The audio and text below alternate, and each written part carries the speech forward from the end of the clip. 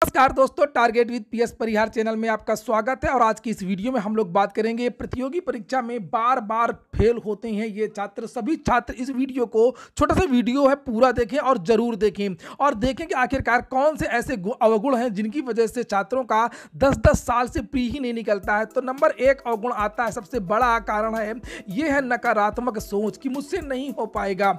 जैसे विद्यार्थियों के अंदर एक भावना होती है कि मेरा अकेडमिक रिकॉर्ड बहुत कम रहा है high school intermediate graduation graduation में भी मेरे औसत नंबर आते थे, इसलिए मैं पीसीएस नहीं बन सकता, मैं टीजीटी पीजीटी भी नहीं बन सकता। या रिजर्वेशन है या करप्शन है, मेरा कुछ नहीं हो पाएगा, नौकरियाँ नहीं आती हैं। तो ये नकारात्मक सोच को हटा दें पॉजिटिव सोचें, और हर पढ़ने वाले छात्र की नौकरी लगती है। जो भी सकारात्मक सोच रखता है और समय भी नहीं लगता है, दूसरा, दूसरी सबसे बड़ा कारण है, वो है सही पाठ्यक्रम और सही रणनीति का अभाव।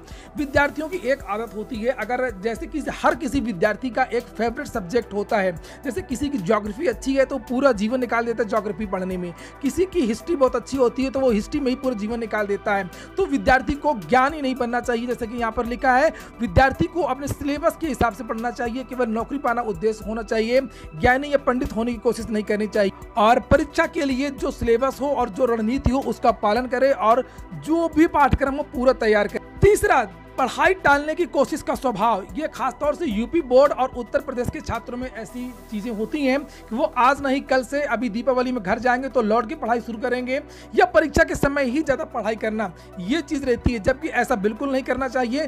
कभी कभी छात्रों का प्री निकल भी गया तो मेज़ में कुछ नहीं उखाड़ पाते, कुछ नहीं कर पाते हैं। इसलिए पहले से ही पढ़ाई करना चाहिए। जिस दिन आप आवेदन करते हैं प्री का, उसी दिन से ही पूरी मेन्स की तैयारी और इंटरव्यू की तैयारी एक रणनीति बना करके शुरू कर देना चाहिए। यहाँ पर जैसा कि लिखा पढ़ाई टालने का स्वभाव ऐसा बिल्कुल भी नहीं होना कि आज घूम लेते हैं, कल से पढ़ाई करेंगे। नहीं नहीं, कल घूम लेंगे, आज पढ़ाई करेंगे, ऐसा सोचना चाहिए। दूसरी बात यह है कि अच्छे मित्र और अच्छे ग्रुप, अनुकूल वातावरण का अभाव, अगर आप बार बार फेल हो रहे हैं प्रतियोगी परीक्षाओं में तो एक पक्का कारण है कि आपका ग्रुप आप जहाँ बैठते हैं, उठते हैं, जिनसे चर्चा करते हैं, जिनके साथ पढ़ाई करते हैं, जहाँ पर रहते हैं, उसके बारे में विचार करने की आवश्यकता है। आप लोगों ने देखा होगा भी हाल ही में परिणाम पीसीएस का आया, एक ही परिवार से भाई बहन का चयन हुआ है भाई भाई का चयन हुआ है बहन बहन का चयन हुआ है। अक्सर ऐसा हम लोग, हम लोगों ने सुना तो ऐसा नहीं है कि उनके डीएनए में कुछ है, ऐसा बिल्कुल भी नहीं है। और ऐसा केवल इसलिए है कि उचित मार्गदर्शन उनको मिलता है और एक साथ पढ़ाई करते हैं और इसलिए इनका चयन होता है। इसलिए आप लोग अपने जो है मित्रों के बारे में सोचें। मित्र जो हैं वो तो रहेंगे ही, लेकिन अच्छे मित्रों का भी चयन करें और अच्छे वातावरण का चयन करें जहाँ पर आपकी पढ़ाई हो सके और आपको मोटिवेट हो सके। और ये सबसे बड़ा फैक्टर है, याद रखिएगा, ये सबसे बड़ा फैक्टर है। और इसके बाद में हैंड राइटिंग अस्पष्ट होना, बदलाव को स्वीकार नहीं करना। ये बात हो रही है मेंस परीक्षा की हैंड राइटिंग का भी थोड़ा प्रभाव पड़ता है। ऐसी बात बिल्कुल भी नहीं है, जिनकी हैंड राइटिंग खराब उनका चयन नहीं होता है। उनका भी चयन होता है, लेकिन इसका भी कुछ ना कुछ प्रभाव पड़ता है। ये देखा, ये कटु सत्य है।